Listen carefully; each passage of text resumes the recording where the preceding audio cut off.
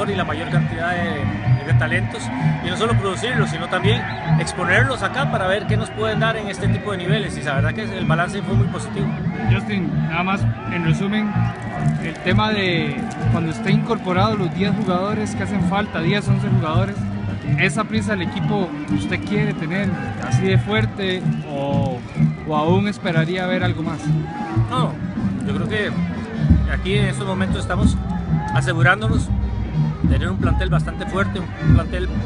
en cantidad y en calidad que realmente pueda competir con autoridad este, los tres torneos que tenemos, Copa, Torneo Nacional y, la Conca Champions. Así que eh, vamos por, por partes, fase 1, eh, probar de qué están hechos los que no han venido jugando regularmente y los jóvenes, eh, comprobar que las divisiones menores están trabajando bastante bien. Segundo paso, cuando ya se incorporen los, eh, los jugadores seleccionados más los lesionados, ya viene un trabajo táctico completo sobre algunos detalles que queremos ver. Y ya después eh, tenemos la conclusión de cuáles son los perfiles ideales para tener un plantel eh, extenso, lo suficientemente extenso, completo y sobre todo pues que, tengamos un, una solidez, que no haya tanta diferencia entre quienes juegan y quienes no